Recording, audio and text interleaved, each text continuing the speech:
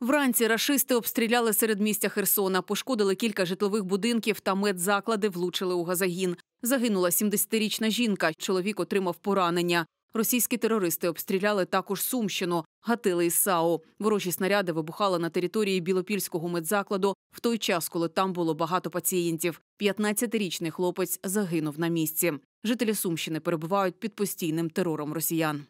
Чую віранду, щось приземлилось уже. Двері вилетіли. Пилу, диму, дим якийсь був, пил. Що мене чуть. Я давай тікати, бо думаю, зараз мене привали. Думала, що й мене уб'є. Знову під обстрілами опинився Куп'янський район на Харківщині. Протягом доби окупанти наносили ракетні та артудари.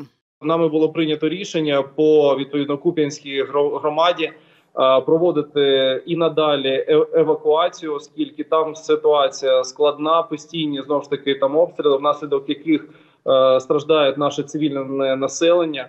Ну і в нас наразі вже 28 людей. Це е, вже там подали заявку. А в Краматорську ворожий снаряд приземлився поруч із приютом для тварин. Більшість собачих будок зруйновані, а самі тварини пережили неабиякий стрес. Сейчас, сейчас поубираю.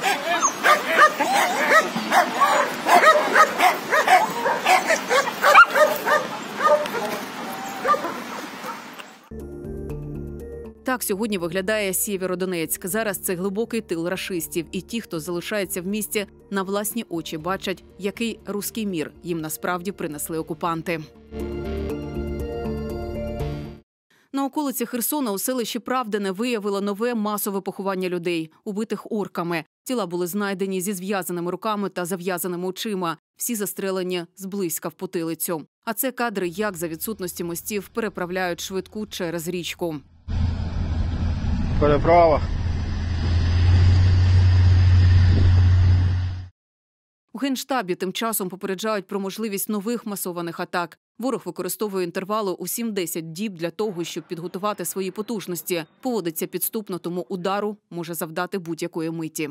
Те, що на е, літа- лі- литовищах Росії е, накопичена стратегічна авіація споряджена, тактична авіація споряджена і е, ракетоносій виведений на чергування, це якраз такі непрямі ознаки до підготовки подібного удару. На фронті залишається важкою ситуація на Донбасі. Наші оборонці викладають все нове відео, в яких умовах доводиться воювати. По шоколаду. Спускаемся чисто. Эх, эх, эх. Красота. А у вас там как?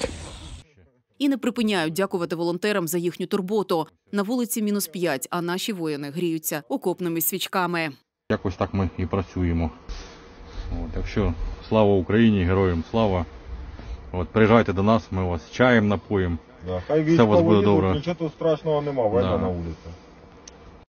Олена Петриченкова, Олександр Коваленко. Новини 11 каналу.